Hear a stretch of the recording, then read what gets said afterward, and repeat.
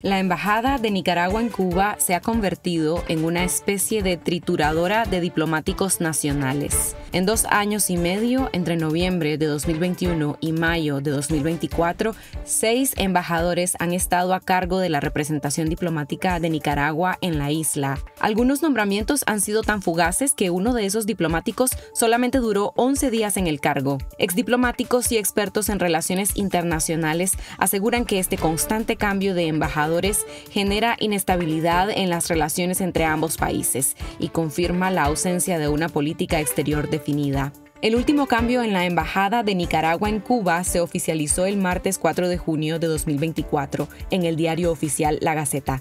Ese día se destituyó como embajador a Orlando José Gómez Zamora, quien estaba en el cargo desde septiembre de 2023. En su lugar se nombró a Giselle Socorro Morales Echaverri. Un ex diplomático que habló con Confidencial bajo condición de anonimato sostuvo que las relaciones internacionales de Nicaragua son diseñadas y coordinadas desde la residencia y despacho de Daniel Ortega y Rosario Murillo en el Carmen y aseguró que no hay una política exterior detallada y a largo plazo, sino una diplomacia muy improvisada y cambiante. Antes de noviembre de 2021, la Embajada de Nicaragua en Cuba estuvo a cargo de la misma persona durante más de 14 años. Era el periodista argentino nacionalizado nicaragüense Luis Cabrera González, nombrado en el cargo desde febrero de 2007, unos días después de que Ortega regresó al poder. Los embajadores posteriores han sido Sidarta Francisco Marín Arauz, quien duró 11 días en el cargo, el coronel en retiro Reinaldo del Carmen Lacayo Centeno, que duró un mes, Wilfredo Jarquín Lang, que duró cuatro meses, y Alejandro José Solís Martínez, que ocupó el cargo en dos ocasiones, primero de mayo de 2022 a mayo de 2023 y luego de junio a septiembre de 2023. El último embajador destituido fue Orlando José Gómez Zamora, quien duró ocho meses como embajador de Nicaragua en Cuba. Lea más sobre este tema en nuestro sitio web confidencial.digital o en el enlace en la descripción de este video. Otoniel Orozco Mendoza, un nicaragüense de 53 años nacionalizado en Costa Rica, fue asesinado con 14 disparos durante un conflicto con su vecino, el costarricense Eduardo Ramírez Zamora. El hecho ha causado indignación por el nivel de violencia con que fue atacado Orozco, según quedó registrado en el video de una cámara de seguridad. El incidente ocurrió frente a la residencia de ambas familias la mañana del lunes 3 de junio en el condominio Río Palma en San José. La policía judicial decomisó un arma de 9 milímetros al costarricense Eduardo Ramírez Zamora, quien está en prisión preventiva, según el diario La Nación. El Ministerio Público de Costa Rica informó que Orozco ya había denunciado anteriormente a Ramírez por otras agresiones con armas.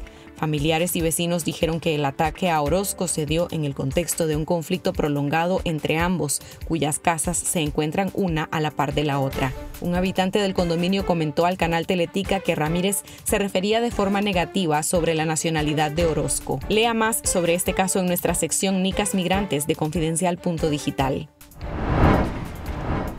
Tras la llegada de tres vuelos charter a Nicaragua procedentes de Medio Oriente en las últimas semanas, el subsecretario adjunto de la Oficina de Asuntos del Hemisferio Occidental del Departamento de Estado de Estados Unidos, Eric Jacobstein, afirmó que la administración de Joe Biden está preocupada por el ambiente permisivo del régimen de Daniel Ortega con la migración irregular.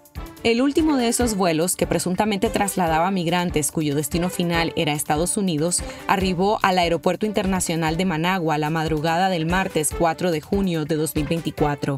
Todos fueron operados por la aerolínea Gadamés, pero no han sido reportados por la empresa administradora de aeropuertos durante su trayecto hacia la capital nicaragüense, apagaron su radar y ocultaron el destino final. El funcionario advirtió que el gobierno estadounidense está tomando medidas para prevenir que los contrabandistas de migrantes trabajen con agentes de viajes y aerolíneas charter para traer migrantes al hemisferio occidental, principalmente a través de Nicaragua.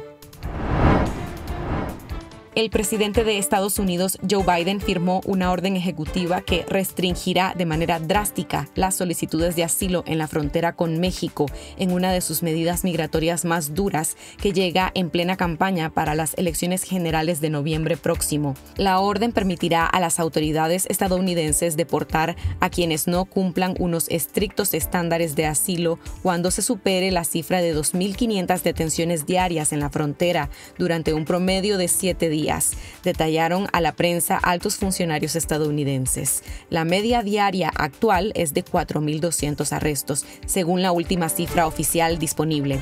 La orden entró en vigencia el 4 de junio. Los protocolos para solicitar asilo volverán a relajarse una vez que esa cifra disminuya a 1.500 en promedio durante 14 días, lo que podría ser difícil de alcanzar ya que la última vez que el promedio de detenciones bajó a 1.500 fue en julio de 2020 en plena pandemia de COVID-19.